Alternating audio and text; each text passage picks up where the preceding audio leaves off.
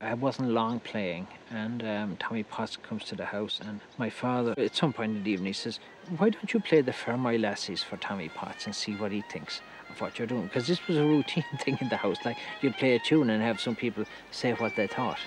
Like I got a lot of what they thought about what I was doing, you know.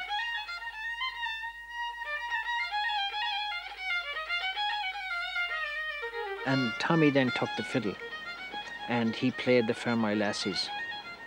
I don't know how many different ways he could have played it. He says, but you could do this also. And then he goes, and you might do this. Or you might do this.